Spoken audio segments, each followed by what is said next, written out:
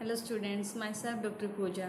Today we are going to study the topic type study of Labiorhoita, its external morphology and its body wall.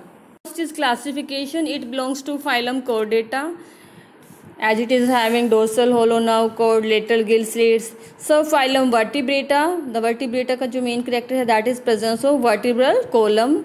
Class Osteichthyes Osteichthyes में bony endoskeleton present होते हैं swim bladder present होते हैं सब class Actinopterygii in case of the Actinopterygii cycloid और ctenoid scales are present infra class Teleostei Teleostei में जो tail fin होता है that is homocercal means जो यहाँ पर हमें ये टेल फिन दिख रहा है, ये टू पार्ट्स में बाइफर्केटेड है and both parts are equal equal हैं that's why it is called homocercal tail fin its odor is cypriniforms as it is having sensory barbels around its mouth and its type is labiorhoita the now what is its habitat? It inhabits in fresh water of ponds lakes rivers reservoirs and mainly found in northern and central india not in south india and other countries like pakistan bangladesh and in Burma also. Commonly it is called common carp. Now the its habits it is dark grayish color on dorsal side dorsal side पर ये dark grayish color की दिख रही है and on ventral side it is silver white in color and it is mainly vegetarian और अलगी और जो plant matter हैं उन पर फ़ीड करती है ये इंक्लूडिंग डिकेइंग वेजिटेशन पर भी फ़ीड करती है बट इसकी जो यंग फ्राइज होती हैं that feed on zooplankton वो जू प्लैंगटन पर भी फ़ीड करती हैं. Basically it is bottom feeder bottom पर प्रेजेंट होती हैं and it use gills for respiration इसमें सेक्सेस होती हैं सेपरेट होती हैं मेल एंड फीमेल डिफर होते हैं and fertilization takes place externally means water के अंदर फर्टिलाइजेशन होती है.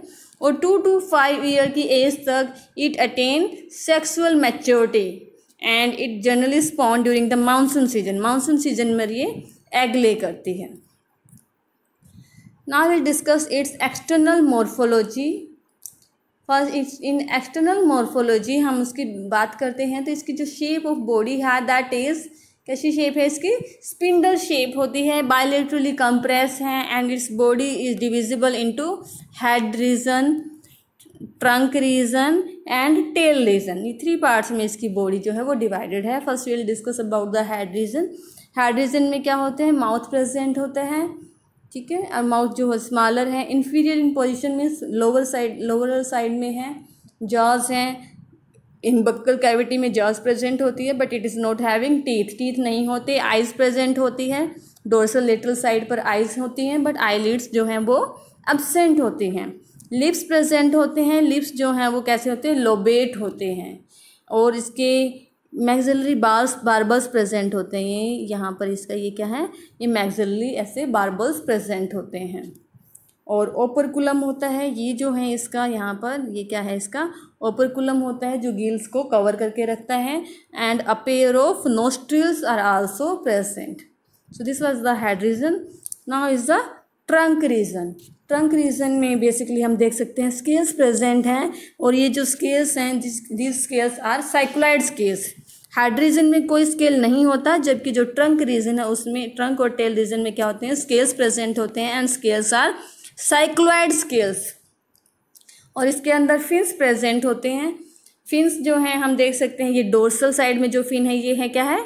डोर्सल फिन है ये। इसके अंदर छोटे छोटे ये finlets finlets present होती हैं and these are called fin rays तो इसके अंदर ये थर्टीन फिन रेज प्रेजेंट हैं डोर्सल फिन में. ऐसे इसके पेक्टोरल फिन है पेक्टोरल फिन में नाइनटीन फिन रेज प्रेजेंट होती हैं.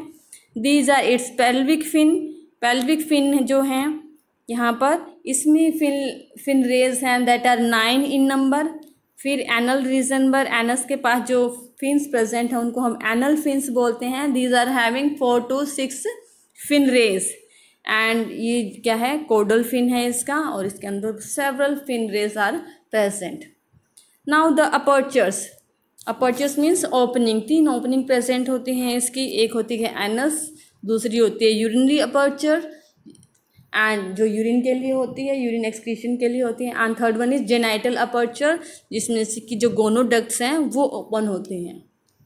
And third one is the tail region हम टेल रीजन की बात करते हैं, जो टेल रीजन में मेनली एनल फेंस जो हैं, वो टेल रीजन में आते हैं और जो कोडल फेंस है, वो टेल रीजन में प्रेजेंट होते हैं एट द टर्मिनल एंड और ये जो टेल रीजन में जो कोडल फेंस है, ये होमोसर्कल होते हैं। Now will discuss about its body wall जो बॉडी वाल है, इसकी it mainly includes three layers these are skin musculature and peritoneum first will discuss about its skin जो स्किन है that is mainly formed of two layers epidermis and dermis epidermis जो होती है, वो कैसी होती है? This is formed of epithelial cells और ये कैसी होती है? बहुत सारी लेयर्स में है, इसलिए हम इसको बोलते हैं. This is having stratified epithelial cells and with numerous mucus glands mucus glands भी प्रेजेंट होते हैं इन एपिथेलियल सेल्स के अंदर. And mucus glands are also called bakers cells and this epithelial layer is covered by a thin transparent layer this is cuticle layer इससे ये cover होती है. ठीक है? एंड जो एपिथेलियल सेल्स हैं they also show the deposition of keratin protein that's why they also show keratinization जो second layer है एपिडर्मिस के बाद वाली that is dermis layer. Dermis layer में क्या होता है? मेनली कनेक्टिव टिश्यू प्रेजेंट होते हैं। जैसे ये जो एरिया है, यहाँ पर क्या है? कनेक्टिव टिश्यू फाइबर्स प्रेजेंट हैं। पिगमेंट सेल्स भी प्रेजेंट होती हैं। स्केल्स प्रेजेंट होते हैं। साइक्लॉइड स्केल्स होते हैं।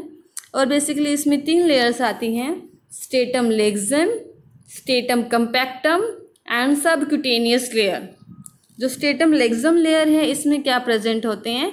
साइक्लॉइड स्केल्स प्रेजेंट होते हैं। ये हम जो देख रहे हैं रिंग लाइक ये क्या है? साइक्लॉइड स्केल्स प्रेजेंट हैं।